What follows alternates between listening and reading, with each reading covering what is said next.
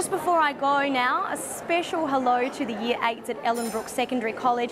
They came in for a tour today. We had lots of fun playing around on the weather set and uh, there were a couple of rising stars I spotted. They might be after our jobs, Tim and Emmy, but uh, yeah, big hello to them. and I am off to see some dancing. Enjoy You your enjoy. night. Thank you, Jerry. Thanks, they did Jerry. look pretty confident, didn't They they? did. You nice swing on the seat there.